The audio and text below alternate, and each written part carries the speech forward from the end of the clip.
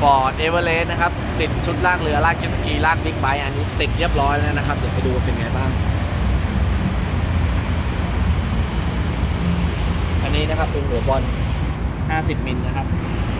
ลากเรือได้เจ็ตสกีได้บิ๊กไบค์ได้ ตัว ball mount ตัวนี้นะครับ ถอดเข้าถอดออกได้เวลาไม่ใช้งานตัวนี้นะครับซ่อนคานทั้งหมดใต้ตัว skirt ไม่มีคานโผล่ออกมางานเรียบร้อยนะครับ มีชุดตัดเชือด้านล่างนะครับ การบอลเมาส์คอน สปริงการคายนะครับการหัวบอลอยู่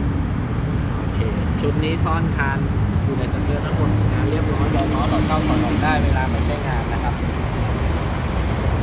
โอเคเรียบร้อยนะครับสำหรับตัวฟอร์ดเอเวอเรสต์นะครับติดชุดลากเรือลากเจ็ตสกีลากกุญแจขอบคุณค่าสำหรับการรับชม